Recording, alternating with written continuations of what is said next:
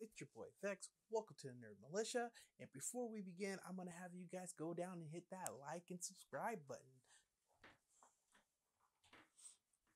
So today we're talking about Power Rangers and not any old Power Rangers. We're talking about Power Rangers in space and not any saga of Power Rangers in space. We're talking about the Psycho Rangers saga. And that was my Facebook. So if you guys are fans of the show, you guys know I'm a huge Power Ranger fan. Probably can't make it out too much, but right here I have the San Diego Comic Con uh, Gold and Red Ranger, right? So that's pretty awesome. And then over here, you probably still can't make it out, but I have a Morpher that is a Morpher. The only thing that's really different from any other Morpher is that it is the um, White Ranger and uh, Green Ranger coins.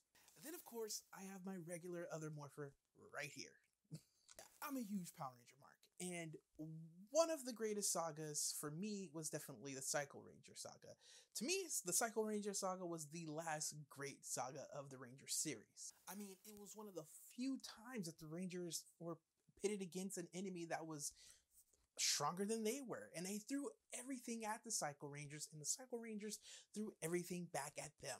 So this Power Ranger book, Power Rangers Path to Psycho, was pretty cool. As you guys know, I base all these comic books off of three categories accessibility, character, and story. So, this comic book starts off with Psycho Green waking up on the moon of all places. And it turns out a little bit of his origin is that he is the adopted brother to Andromeda, aka Karone.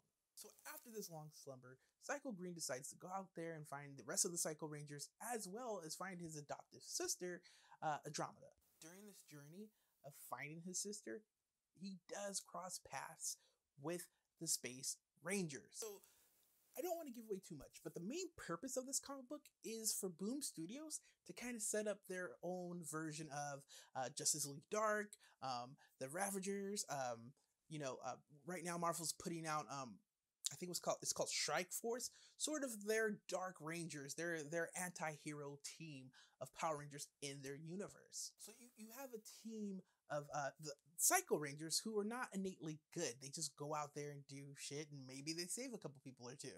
The characters are all great. It's the best that Boom could do right now as far as dark characters. But Space is already a dark franchise. You have Karone, who was snatched as a kid and who was brainwashed to do evil things. And you have Andros, the Red Space Ranger, who, of all the Rangers, isn't really out there to do good.